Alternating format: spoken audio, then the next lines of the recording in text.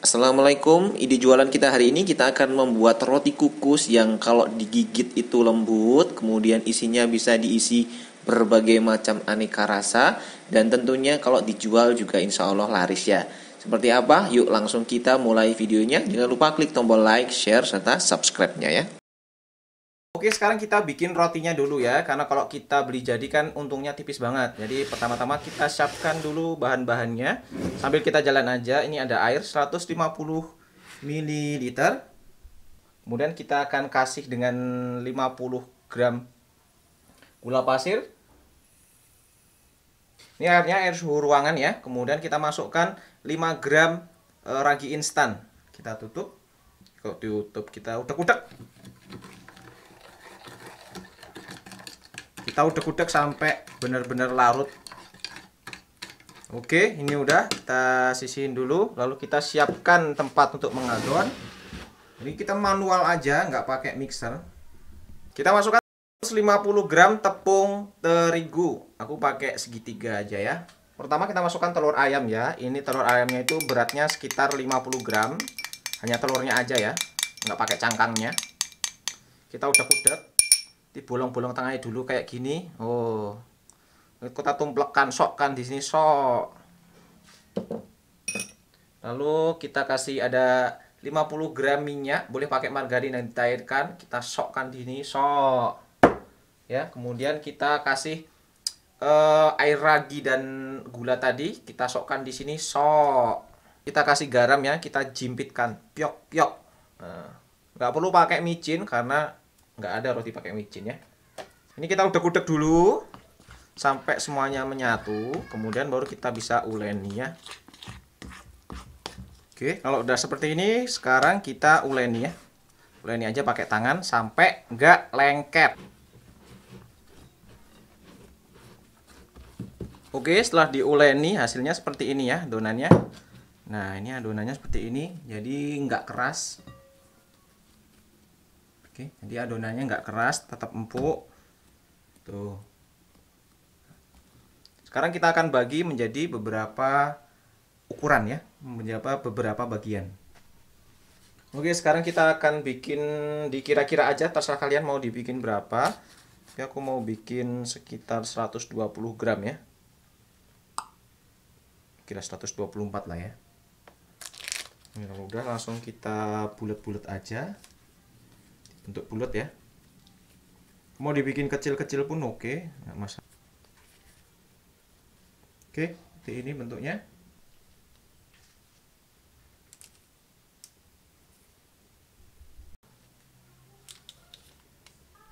Ini satu tray udah siap kemudian kita akan olesi dengan kuning telur ya.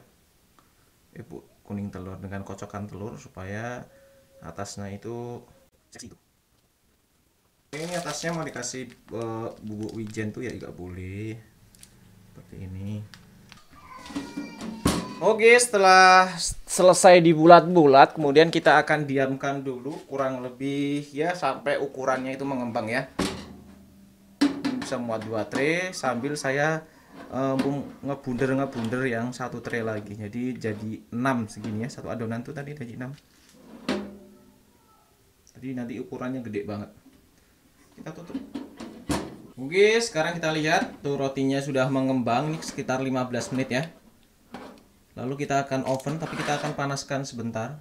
Jadi ini kita keluarin aja nggak apa-apa. Tadi nggak aku tutup karena serbetku habis yang bersih.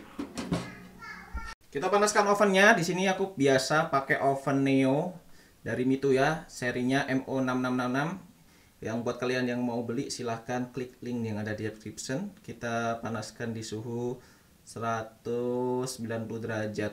Kemudian apinya bawah aja.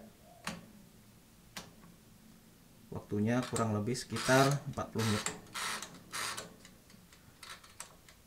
Panaskan dulu ya.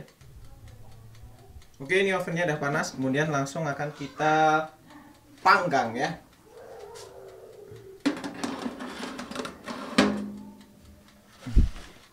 nanti posisinya di bolak balik atas bawah atas bawah gitu aja ya. Supaya enggak matangnya tuh merata gitu. Kita turunin aja deh. Oke. Oke ini dia hasilnya. Jadi montok-montok gede-gede ya. Sekarang langsung kita ke penyajiannya aja ya. Seperti ini langsung kita belah aja ya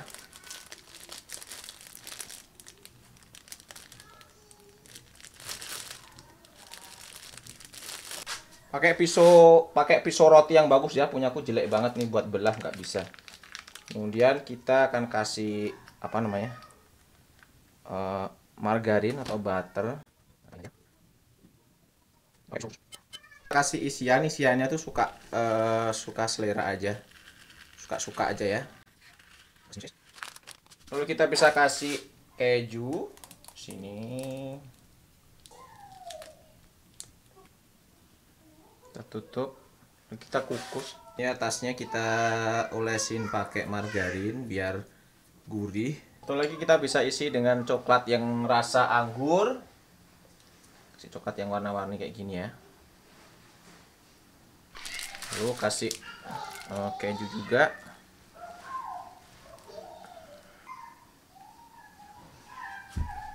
Tutup.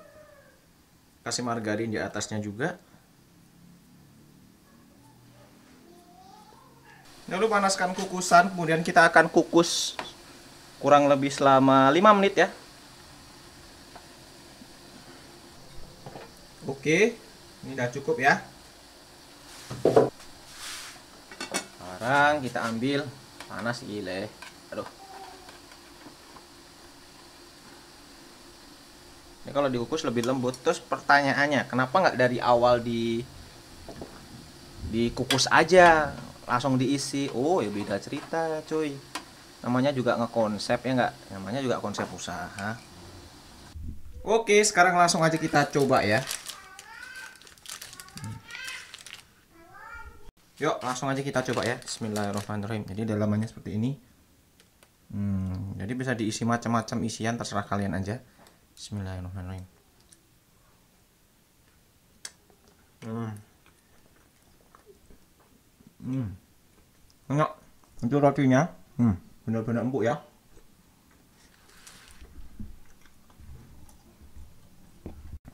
Ini tekstur rotinya benar-benar empuk tuh.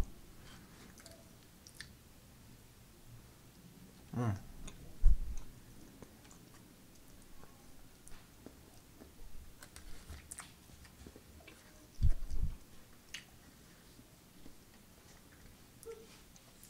Oke, itu aja resep dari Aja Kitchen hari ini. Jangan lupa klik tombol like, share, serta subscribe-nya ya.